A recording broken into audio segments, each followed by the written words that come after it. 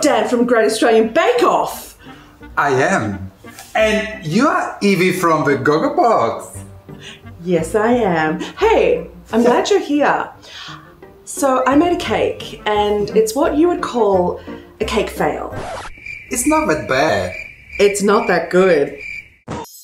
So, today we are going to fix Yvie's baking fail with this amazing Kenwood Chef XL Titanium.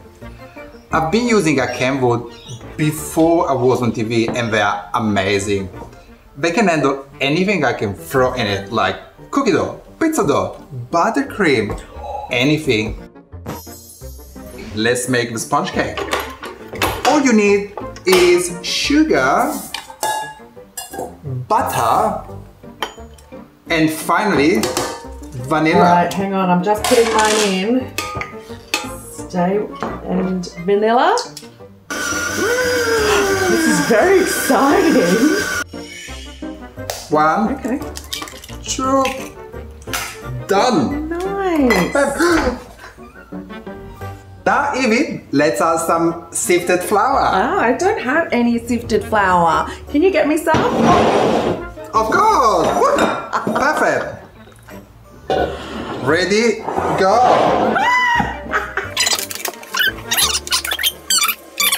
Do you know sometimes you put ingredients and they go everywhere? Well, with this titanium, you have a slow start diode, so it eases into things.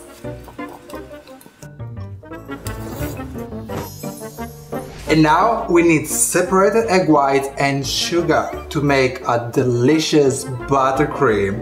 So Yvie, do you have everything? Mm-hmm. Yes, I do. For the buttercream, I already added the butter and when all the ingredients were well combined together, a lot to switch between the whisk and the creamy bitter to get a nice creamy texture. So you're going to cover the cake. Are you ready, Eve? What? We just coated the cake and let's decorate it. And we just have to add the final touches. See, if anything can turn a baking fail into a baking success, Kenwood can.